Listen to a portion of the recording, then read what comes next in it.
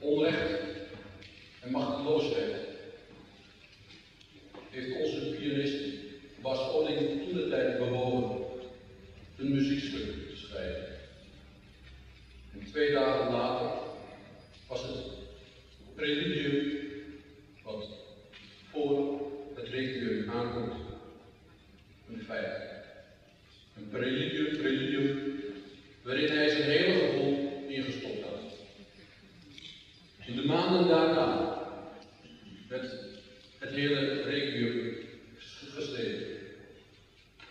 Ter nagedachtenis.